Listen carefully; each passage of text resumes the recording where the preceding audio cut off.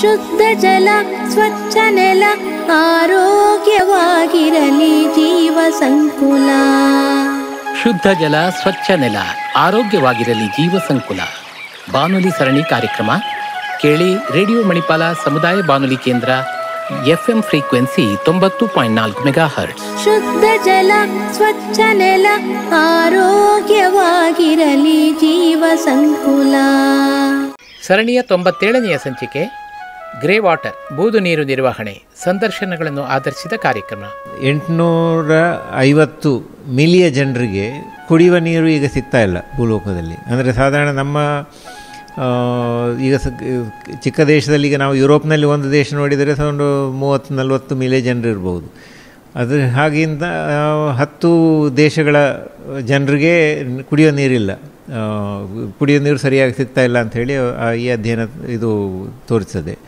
ಮತ್ತು ಇನ್ನೊಂದು ಈ ವಿಶ್ವ ಸಂಸ್ಥೆಯ ಅಧ್ಯಯನ ಏನು ಅಂತ ಹೇಳ್ತದೆ ಶೇಕಡ ಎಂಬತ್ತು ನೀರು, ಇದು ನಾವು ಉಪಯೋಗಿಸಿದ ನೀರು, ಈ ತ್ಯಾಜ್ಯ ನೀರು, ಅದು ಸರಿಯಾಗಿ ಇದು ಟ್ರೀಟ್ಮೆಂಟ್ ಆಗದೇ ಇದಕ್ಕೆ ನದಿ ಅಥವಾ ಸಮುದ್ರಕ್ಕೆ ಹೋಗ್ತಾ ಇದೆ ಈಗ.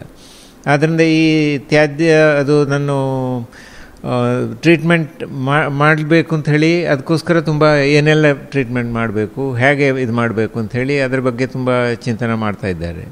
ಅದಕ್ಕೋಸ್ಕರ ಈಗ ನಾವು ವಿಶ್ವಸಂಸ್ಥೆಯವರು ಏನು ಮಾಡಿದ್ದಾರೆ ಅಂತ ಹೇಳಿದರೆ ಎಲ್ಲ ದೇಶಗಳಿಗೆ ಒಂದು ಗೋಲ್ ಸೆಟ್ ಮಾಡಿದ್ದಾರೆ. ಈಗ ಸಸ್ಟೈನೇಬಲ್ ಡೆವಲಪ್ಮೆಂಟ್ ಗೋಲ್ ಅಂತ ಹೇಳ್ತೇವೆ. ಆ ಸಸ್ಟೈನೇಬಲ್ ಡೆವಲಪ್ಮೆಂಟ್ ಗೋಲ್ನಲ್ಲಿ ಇದು ಒಂದು ಆರನೇದ್ದು ನೀರು ಮತ್ತು ಶುಚಿತ್ವ, ಅದೊಂದು ಸಸ್ಟೈನೇಬಲ್ ಡೆವಲಪ್ಮೆಂಟ್ ಗೋಲ್ ಆದ್ದರಿಂದ ಎಲ್ಲ ದೇಶಗಳು ಇದರ ಬಗ್ಗೆ ತುಂಬ ಪ್ರಾಮುಖ್ಯತೆ ವಹಿಸಬೇಕು ಅಂತ ಹೇಳಿ ಇದು ವಿಶ್ವಸಂಸ್ಥೆಯ ಲೆವೆಲ್ನಲ್ಲಿ ಇದು ಡಿಸೈಡ್ ಆಗಿದೆ. ಅಂದರೆ ಎಲ್ಲ ಸರ್ಕಾರದವರು ಇದಕ್ಕೂ ಒಪ್ಪಿದ್ದಾರೆ. ಒಪ್ಪಿ ಇದನ್ನು ಒಂದು ಗೋಲಾಗಿ ಇಟ್ಕೊಂಡಿದ್ದಾರೆ. ನಾವು, ಸಾವಿರದ ಒಂಬೈನೂರ ಅರವತ್ತರ ನಂತರ ತುಂಬ ಅಗ್ರಿಕಲ್ಚರಲ್ಲಿ ಕೀಟನಾಶಕಗಳು ಫರ್ಟಿಲೈಸರ್ಗಳು ಅದೆಲ್ಲ ಯೂಸ್ ಮಾಡಲಿಕ್ಕೆ ಶುರು ಮಾಡಿದ್ವಿ.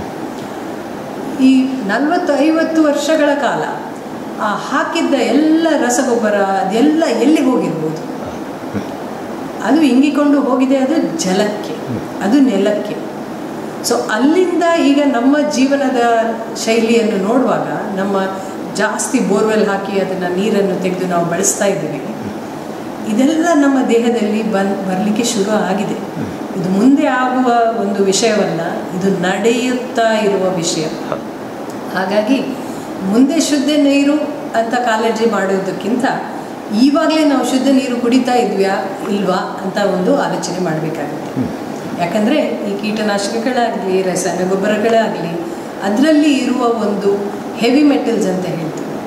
ಅದು ನಮ್ಮ ದೇಹದಲ್ಲಿ ಒಳಗೆ ಹೋಗುವ ಕ್ರಮ ಇದೆ. ಆದರೆ ಅದು ನಮ್ಮ ದೇಹ ಆಚೆ ಹಾಕಲಿಕ್ಕೆ ಕ್ರಮಗಳಿಲ್ಲ. ಹಾಗಾಗಿ ನಮ್ಮ ಬೇರೆ ಬೇರೆ ಭಾಗಗಳಲ್ಲಿ ಅದು ಅಕ್ಯುಮುಲೇಟ್ ಆಗಿ ಅದು ಒಂದು ಬೇರೆ ಪ್ರಮಾಣದಲ್ಲಿ ನಮಗೆ ನಮ್ಮ ಜೀವನ ಶೈಲಿಯಲ್ಲಿ ಎಫೆಕ್ಟ್ ಆಗ್ತಾ ಇದೆ. ಈಗ ಮುಂಚೆ ನೋಡ್ತೀವಿ ನಾವು ಅಜ್ಜಿಯಂದಿರು ನಮ್ಮಕ್ಕಿಂತ ಹಿರಿಯರು ಎಷ್ಟು ಸೊಗಸಾಗಿ ಜೀವನ ನಡೆಸ್ತಾ ಇದ್ರು. ಆದರೆ ನಮಗೆ ಈಗ ನಲವತ್ತೈದು ಅರವ ಅರವತ್ತು ಪ್ರಾಯ ಪ್ರಾಯ ಮುಂಚೆ ಮಂಡಿ ನೋವು ಬರ್ತದೆ ಲಿವರ್ ಪ್ರಾಬ್ಲಮ್ ಆಗ್ತದೆ ಸ್ಕಿನ್ ಪ್ರಾಬ್ಲಮ್ ಆಗುತ್ತೆ. ಇದೆಲ್ಲ ನೋಡುವಾಗ ಇದು ಆಚೆಯಿಂದ ಬಂದಿದ್ದು ಅಂತ ನನಗೆ ಅನಿಸ್ತದೆ. ನೀರಿಂದ ನಮ್ಮ ಪರ್ಯಾವರಣ ಬದಲಾಗುವ ಒಂದು ರೀತಿ ಒಂದು ಮಟ್ಟ ಎಷ್ಟರ ಮಟ್ಟಿಗೆ ಅದು ರ್ಯಾಪಿಡ್ ಆಗ್ತಾ ಇದೆ ನಮಗೆ ಅದು ಕಂಟ್ರೋಲಲ್ಲಿ ಬರ್ತಾ ಇಲ್ಲ. ಇದರ ಕಾರಣವಾಗಿ ನಮಗೆ ಮುಂದೆ ಆಗುವ ಒಂದು ಅನಾಹುತಕ್ಕಿಂತ ಈಗ ಹೇಗೆ ನಾವು ನಮ್ಮ ಜೀವನವನ್ನು ಸುಧಾರಿಸ್ಬೋದು ಆ್ಯಂಡ್ ಈಗ ನಾವು ಸುಧಾರಣೆ ತಂದರೆ ಇದು ಮುಂದುವರೆದು ಆ್ಯಸ್ ಅ ಗುಡ್ ಪ್ರಾಕ್ಟೀಸ್ ನಮ್ಮ ನೆಕ್ಸ್ಟ್ ಜನ್ರೇಷನ್ ಬರುವ ಜನರೇಷನ್ಗೆ ಒಳ್ಳೆ ಆಗ್ಬೋದು ಅಂತ ನನ್ನ ಒಂದು ಅನಿಸಿಕೆ. ಶುದ್ಧ ಜಲ ಸ್ವಚ್ಛ ನೆಲ ಆರೋಗ್ಯವಾಗಿರಲಿ ಜೀವ ಸಂಕುಲ. ಪ್ರಸಾರ ಡಿಸೆಂಬರ್ ಇಪ್ಪತ್ತೇಳು ಸಂಜೆ ಐದು ಗಂಟೆ ಮರುಪ್ರಸಾರ ಡಿಸೆಂಬರ್ ಇಪ್ಪತ್ತೆಂಟು ಮಧ್ಯಾಹ್ನ ಹನ್ನೆರಡು ಗಂಟೆ. ಇದು ಗ್ರಾಮೀಣ ಕುಡಿಯುವ ನೀರು ಮತ್ತು ನೈರ್ಮಲ್ಯ ಇಲಾಖೆಯ ಪ್ರಾಯೋಜಕತ್ವದಲ್ಲಿ ಸರಣಿ ಕಾರ್ಯಕ್ರಮ.